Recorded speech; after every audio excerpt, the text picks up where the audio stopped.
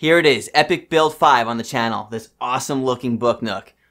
I built it with the help of Scott over at Paladin Woodworking on this awesome wooden case, some help from Wayne over at Wayne's Workshop and this cool smoke machine, and an awesome looking Yeti that I got from Lance and Kendra over at Barthel's Marvels on Etsy, along with support from Woodland Scenics and Super Clear Epoxy to really help set this build apart.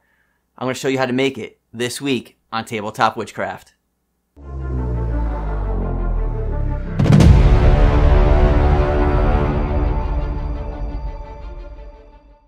Hey there, and welcome back to Tabletop Witchcraft. I've been hard at work the past four weeks working on this book nook, and I gotta be honest, every step of the way really has been a lot of fun. Trying to coordinate this project with Scott to build this awesome hardwood case with these LED lights embedded into it has been a lot of fun. Working with Lance and Kendra at Barthel's Marvels has been awesome. They're such a great uh, store to go check out um, Wayne at Wayne's Workshop, working on the videos with him from the past few weeks, and this as well uh, has been great, as well as everybody over at Woodland Scenics and Super Clear Epoxy to really help bring this whole build together. Has been a lot of fun. Now, these builds do get really expensive. They take a lot of time. So if you can, visit me over on Patreon and consider supporting me there. I'd really appreciate it. And also, I'm going to do a giveaway because this also has a set of plans and it will help you really build a whole interior portion of this. Even if you can't build the wooden case, you can still build another case out of it, out of foam or, or cardstock or something like that as well to encase it.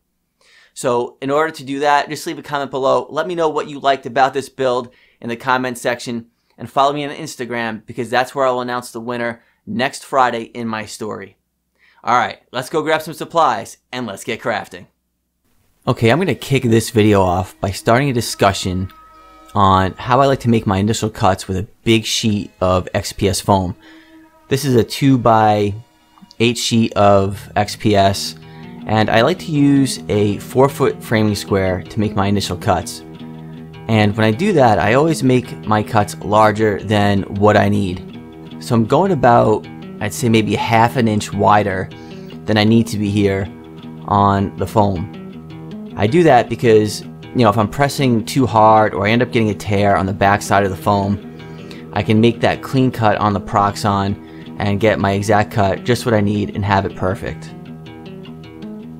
Now if you pick up the plans, it's going to help you with the overall, uh, you know, layout of the cave. As you can see, the cave looks kind of like a mouth from the side, right? And all we're trying to do is get our XPS foam to cover that mouth of the cave. So I got a pretty cool way of showing you how we're going to cut this out. Instead of having to gouge out through, you know, like a, foot of XPS foam, we're going to do it in one inch increments. And as you can see in the background, I got nine what I call rings or layers to the cave. So each one of these plans is going to show you what you're going to need to cut out in order to achieve the look that we're going for. So I'm starting with the back of the cave. This back piece, you're not really going to cut out all the way. It's going to be the very back of the cave, but we need to cut the stencil out uh, just so we know what we're working with here. Now that was ring 9, the very back. This is going to be the next ring up, which would be ring 8, and we're going to work our way from the back to the front. And we're going to kind of leapfrog from layer to layer. Uh, you'll see this, uh, you know, just in a few when we're working on the foam. Um, as we move through, we're going to use the previous ring. Um, so in the next one, we're going to use rings 8 and 7, then 7 and 6, and so on.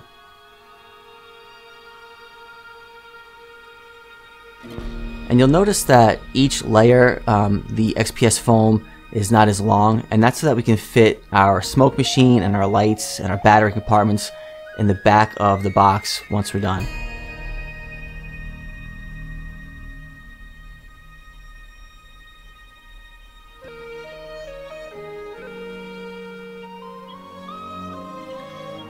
Okay, so don't worry about when you cut into the foam, like there on the left of the that foam sheet. You're not going to see any of this when we're done. So obviously, this would be an easy project if you don't have a Proxxon. Um, to just use an OLFA knife because it really doesn't matter. We're going to coat all of this in Sculptamold by the time we're done. Now lining this up with the plan, you can see how I'm angling this section because the cave, we want it to like look like it's going up and out towards the back. Like you had to drop down into the cave to get to the scene that we're at.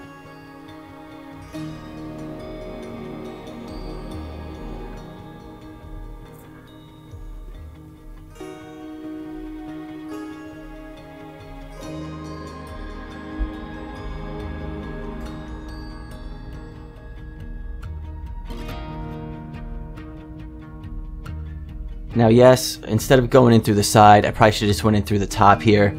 Um, but, you know, again, doesn't matter. We're going to glue all these pieces together when we're done. And if you don't have the heat hot enough when you're pushing it through, uh, that's what happens on a Proxxon. You end up uh, snapping the wire.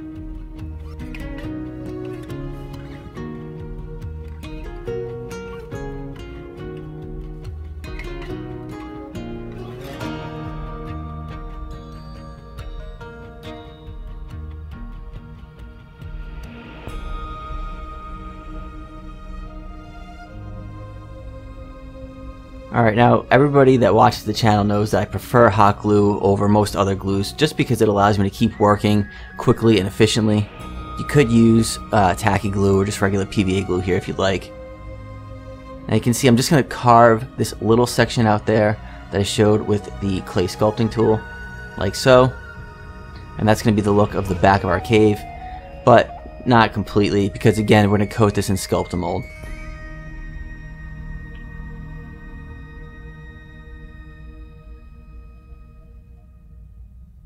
kind of pay attention here closely if you can.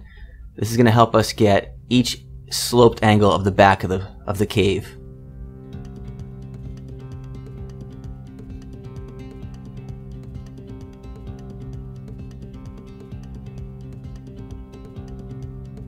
And we're just following that rough angle.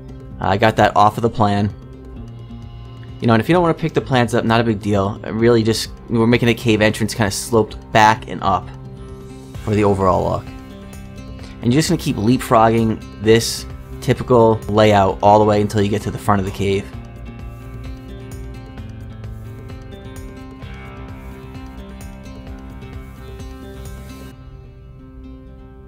And that hole there in the left side on the top, that's going to be for our smoke machine.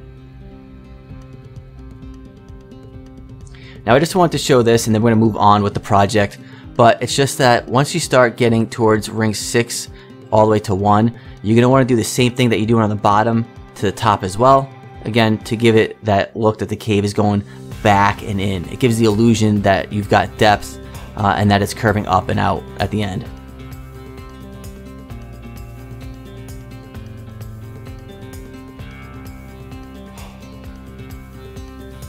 And you can see how each layer gets smaller the further back we go.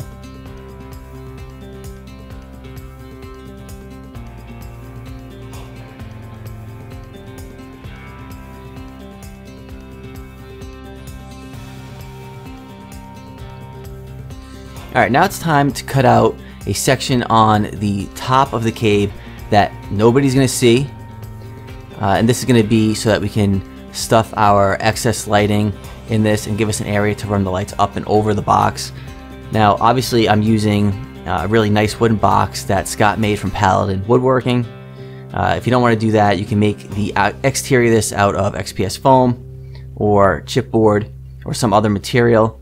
Uh, you're still going to need this space in the top if you want to run some lights. Alright, now we got to add tons of details. We can't just have a cave entrance with a nice cool battle scene with the Yeti. We got to add all kinds of cool stuff. This is just the beginning. We're going to add this really cool uh, skeleton of a horse in the front. That along with the Yeti and the skeleton you're going to see in the video is from Barthel's Marvels over on Etsy. Check them out. And I'm just trying to curve the front of this because again, we're gonna add sculpt mold even to the very front of the cave because we want it to look uniform. So we need to leave a little bit of room on the front, you know, to have it, the sculpt mold blend nicely into the exterior or to the front of the wood box or whatever box you're gonna use.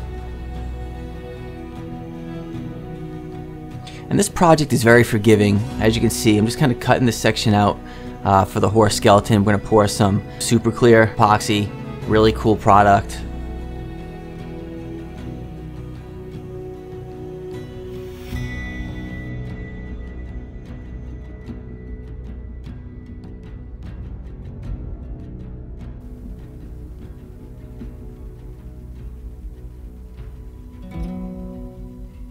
And I'm doing this right here to the back just because I want to make sure that I've got a good flow of the smoke and plenty of light can reach the back of the cave from the smoke machine. And that smoke machine's from Wayne's uh, workshop. I had a video, I'll put a link up above to that video if you want to see how that goes down.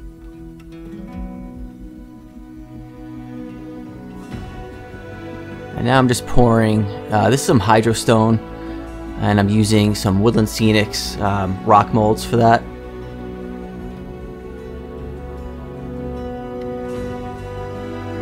I'll put a link up above to my video on how to cast with Hydrostone if you're interested.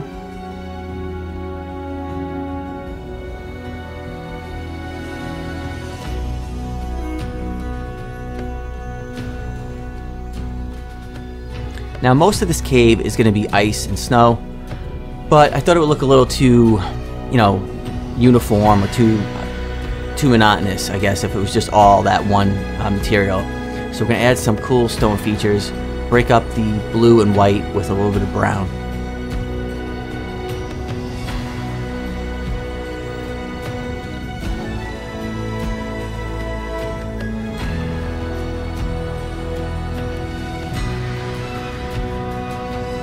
Want to get these close so that they fit. Don't worry about them fitting exactly because you're not going to ever see right where they're butting up to the XPS foam. Now we're going to start gluing these layers together as we work our way out.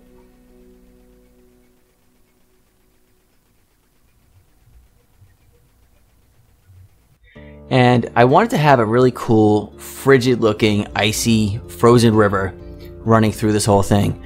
We're going to put a really cool icy waterfall in the background before we're done.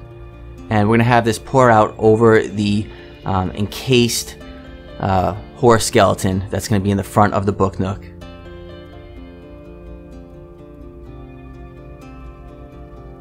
And to make things kind of pop out literally on the book nook, we're going to put this little ledge or landing and we're going to add some cool features to that as well.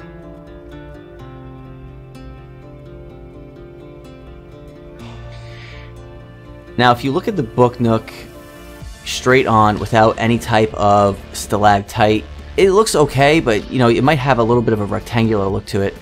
We're gonna get rid of that look real easy by adding these features, uh, one in the back and one in the front. It really breaks up that rectangular outline.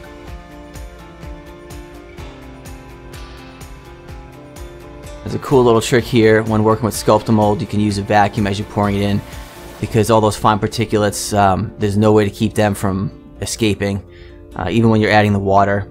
I ended up putting a really cool um, 5500 CFM hood in my shop uh, after I had done this video. So now I got a really cool spot to airbrush, to work with epoxy and, um, you know, cutting foam and all that. So I'm really pumped. I was able to do all that with the help of my patrons. So thank you all for uh, helping to support the channel. Now this gets fun. Just grab uh, a glove on, grab that Sculptamold, and just smear it all over the cave. We use a little hot glue obviously to glue this section in. And you want to make sure that the Sculptamold doesn't have a lot of really fine points to it. Uh, we're going to go here in just a minute. You're going to see I've finished with the Sculptamold. I added some water to that bowl and I'm just rubbing it down so it's nice and smooth. Uh, any research that you do, you look online, almost every ice cave you see, you know, has that really nice glossy, smooth, shiny look to it. And you can see how easy it is to achieve that effect just by getting some water on your glove and uh, smoothing that out. Alright, you might have seen this technique to get a nice flat or straight cut on XPS foam. I did it in my haunted house video put a link up above if you want to check that video out. And I tried to do it um, without this method as you can see. didn't look good. It doesn't matter, you're not really going to see it anyway, but I just wanted to show that technique again.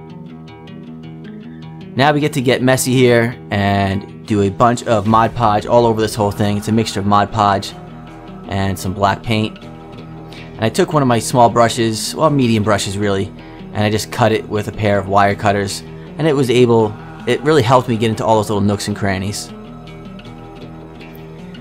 Now these are the key colors that I used to achieve the icy look of this cave. Those three along with white obviously as well. So when I first painted this, you know, I was a little nervous. I'm like, holy cow, this blue is really blue. um, but it really turned out nice when I was done. And to break it up, um, I'm going to paint, obviously, the rocks in gray. And we're just to keep working and layering these colors up as we work our way out. So the blue, we did 100% coverage, that dark blue. That aqua, we did maybe like a 90% coverage. This light blue, I'm doing probably, you know, an 80% coverage over that. And lightly touching up the icy river. And really, don't worry if you get any on the rocks. I'm actually to hit them up on purpose. You know, this whole cave has ice and snow all over it, so you really can't go wrong um, with this. Just have fun painting everything up. Then, once that completely dries, I like to take some white and um, just do a really nice uh, dry brush over that, maybe 50% over the whole project. The real, um, you know, effect and the real look of this is going to all come together once we put our um, epoxy over this.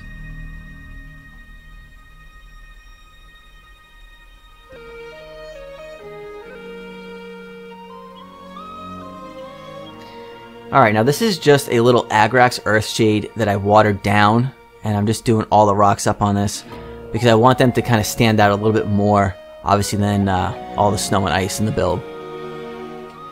And I added a few pebbles from my yard, you can see those as well in that icy river.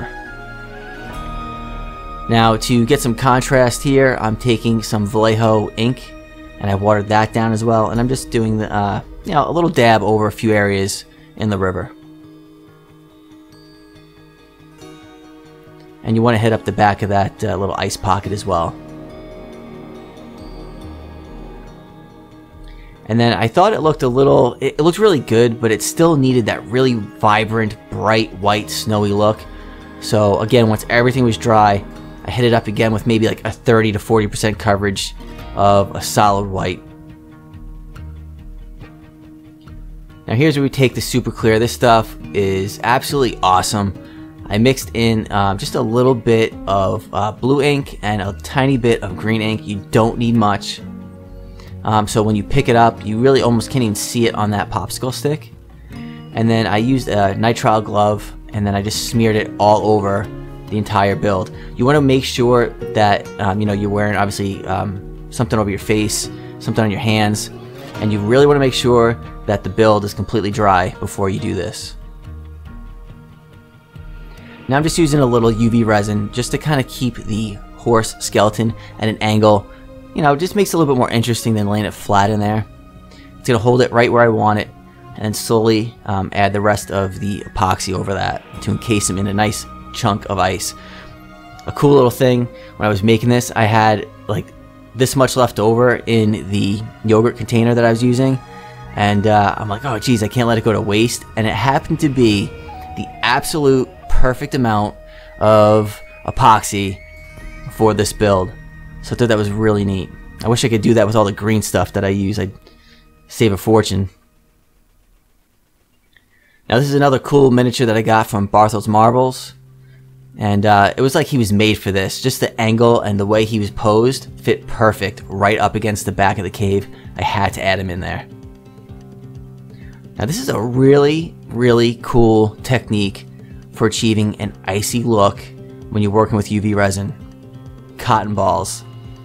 Now, the whole entire book nook is coated and is still hasn't cured of the UV resin or the I'm sorry the uh, super clear and what we're doing is we're going to add some cotton ball to the back real thin and when this cures it's going to look like an ice chunk it comes out really awesome and you want to put a very thin coat of resin over the entire nook. You don't want much. I had maybe an eighth of an inch buildup at the bottom of this uh, when I was done. Now using this realistic water from Woodland Scenics, I had a few strips cure and then I'm going to add those to the back rock in the back corner of the nook for a frozen ice waterfall. And before I like to apply those, I like to run more of the realistic water over them. It gets rid of any cloudiness that would be on the, um, the cured realistic water from the parchment paper. It makes it nice and clear again.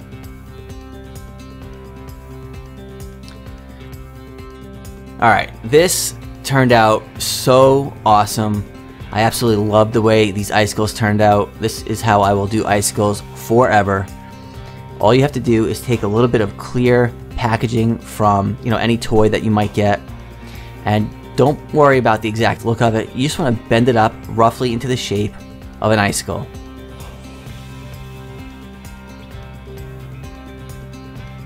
Something like that. And make a whole bunch of different sizes of this. Then we're going to go back to our cotton. And you want to get a nice thin sheet. But if you get too much, it doesn't matter really. Because you can pull this stuff off in strands. And um, you can work with it and save it. Because unless you hit it with the UV light, it's not going to cure on you. So just wrap this around the clear plastic. And then we're going to take some of this UV resin and over the parchment paper we can pour it on there and have plenty of time to work with it again because it's not going to cure until we're ready for it to. Now this little gadget is very helpful and allows you to keep working when you're doing this because it takes about maybe a minute and a half for this to cure underneath that light. So I like to pour the UV resin on here and I use a toothpick to smear it all around and the interesting thing is it seems like there's always a little strand of the cotton that gets stuck to the toothpick. And that's awesome because it really helps you wrap the icicle and have it nice and tight um, when you're done instead of having little wisps everywhere.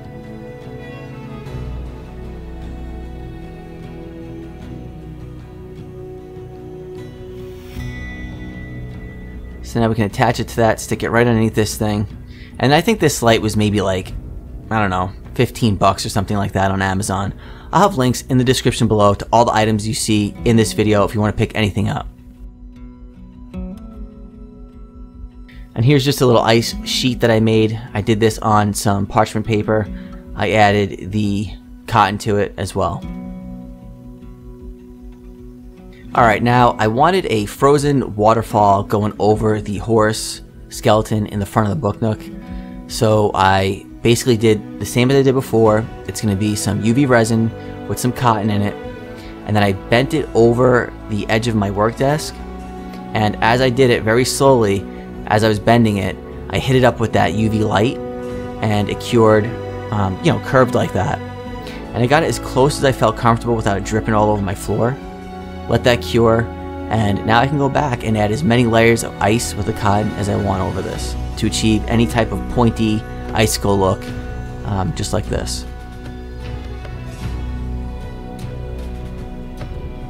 Alright, now we're going to take some really cool uh, flex paste from Woodland Scenics, and I'm going to add some snowflake as well from Woodland Scenics to that, and mix it up, and this is going to make an excellent, excellent looking snow texture.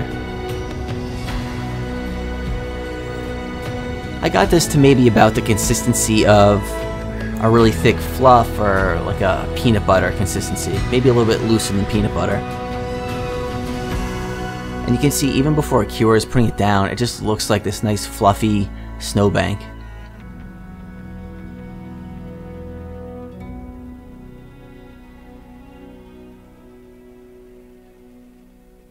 Alright, now we're going to take some of our ice shards here and place them down.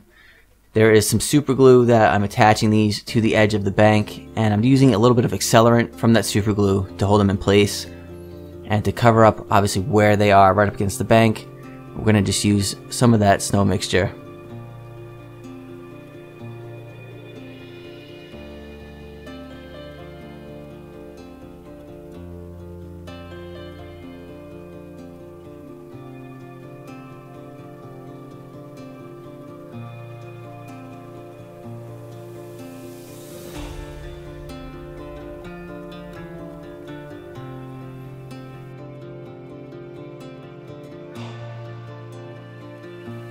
want to add a few details to that ledge, so I just added a horse skull and some snow.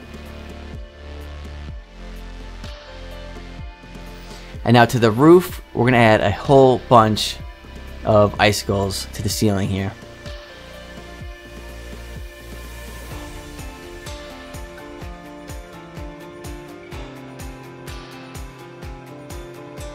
Now this Yeti looked absolutely awesome. I was in love with it. It matched the look of the Yeti from the Rime of the Frostmaiden uh, book from D&D. The only thing that was missing was the horns. So I'm just making some. Same technique as I did in my cave scatter terrain when I made the tentacles. You just gotta be a little bit more careful with how you're sculpting them. You know, to match the shape so that they're roughly the same. And I did a little research online to a whole bunch of different animals with antlers and horns just to see, you know, what the texture would look like.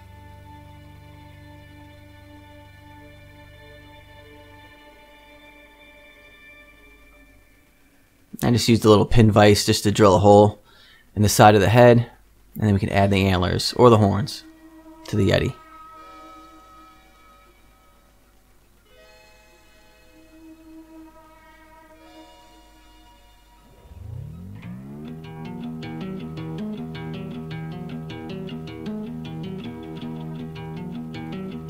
I wasn't really happy with the way the horns looked, so we're just going to fix it up with a little bit more green stuff around the base of the skull.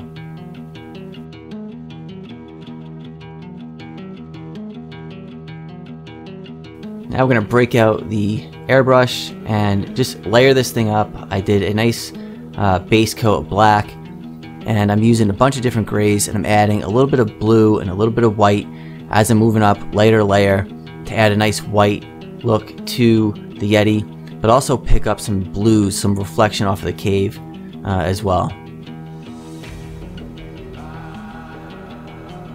And the technique that I'm doing here is a little bit of just wet blending the muscle features on the Yeti.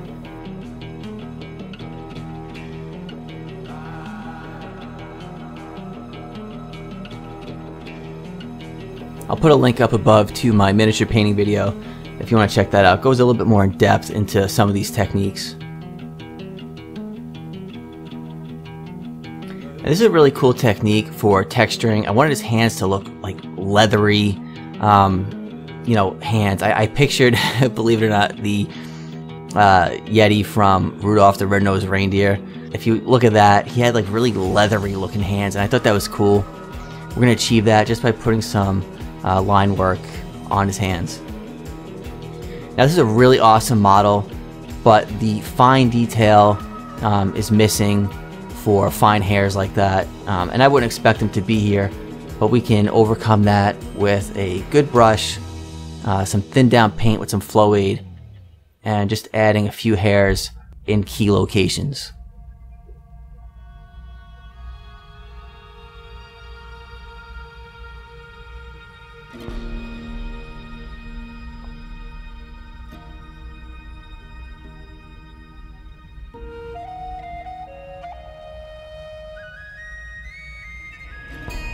Alright, and I did just a little OSL on the eyes of blue just to have them pop and glow. And, uh, yeah. I thought he came out pretty cool. Alright, now we got our hero that I painted up. I didn't want to show him as well. Uh, that would have been uh, another 5 or 10 minutes in the video. But we just glue him right into place with some hot glue. As well as the Yeti and then we can start adding some snow effects on the both of these guys. I think our adventure here is in a little bit of trouble. Alright, now, we take that snow mixture from earlier, and we're just going to put some around the base to cover up the hot glue, and you got to add a bunch of this on the cape and his boots as well.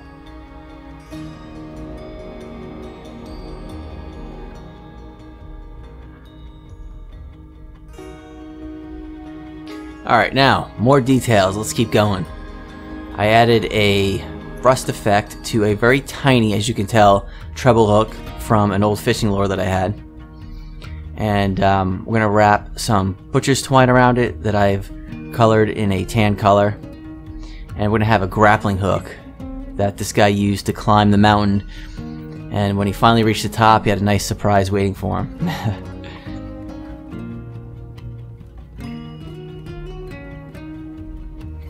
Alright, now this stuff is really cool for adding the frosted icy look around the edge of this ice patch or this block. And what you want to do when working with this is instead of just dabbing it, you want to rub it into um, the outermost edge first. And it really kind of helps it kind of set into the epoxy. And then as you work closer and closer towards the center, then you can start dabbing it. I found that worked best and along the very outermost edge, you know, I wanted to pull it up a little bit, and I did this, and I let it cure for, you know, about a day or, or so, um, and I really loved the final look.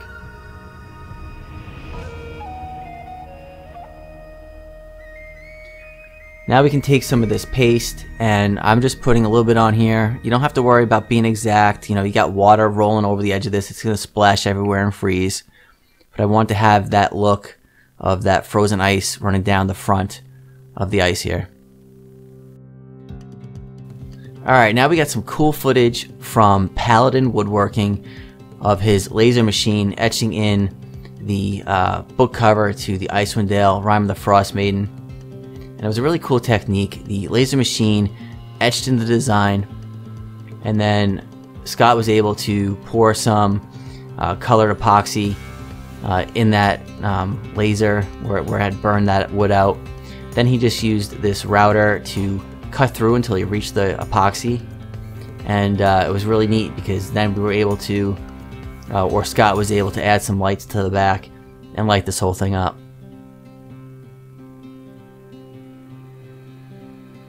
And it's a real fun project working with Scott on this because, you know, he was working on one thing, I was working on the other, and we had to make sure that all our dimensions and everything fit just right so that when I went and actually picked up this box, um, my work would slide in nicely and fit. So um, good job, Scott. It was a lot of fun uh, working on this.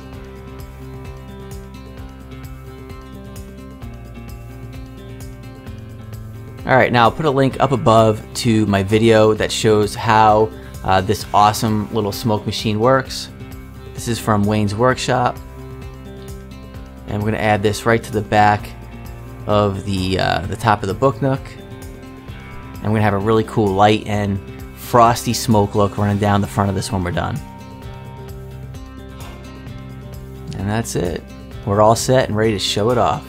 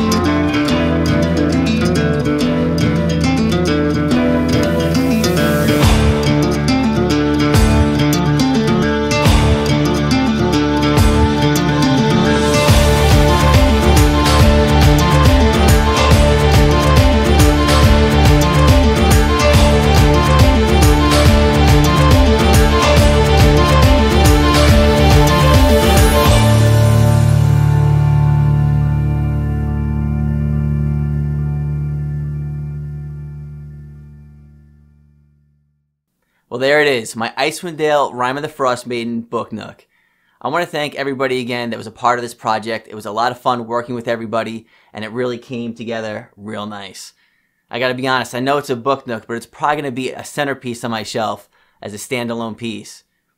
Now, I also want to thank all of my patrons. I'm making a lot of changes this year to the channel with regards to my studio, equipment gear, uh, lighting, all that, and it's all made possible by the support of the generous support of all my patrons. So thank you very much. And also, please leave a comment below. Let me know if you like this or not, and follow me on Instagram for your chance to win a free set of plans to build this as well. All right, until next time, I'll see you around.